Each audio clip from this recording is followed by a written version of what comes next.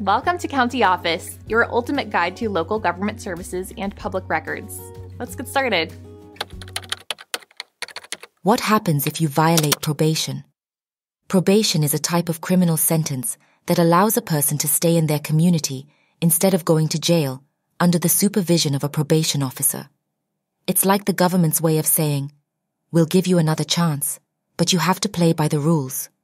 Now what happens if you break these rules or violate your probation? Well, it's not a situation you'd want to find yourself in. Violating probation can lead to serious consequences. This could include a warning from your probation officer, mandatory community service, fines, or even jail time.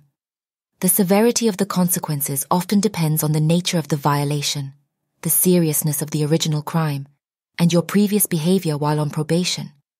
If it's a minor violation, your probation officer might let you off with a stern warning. But if it's a serious violation, like committing a new crime, you could end up back in court facing a judge. So if you're on probation, it's best to stick to the terms and conditions to avoid any unwanted surprises. After all, Probation is a privilege, not a right, and it can be revoked if you don't adhere to the rules.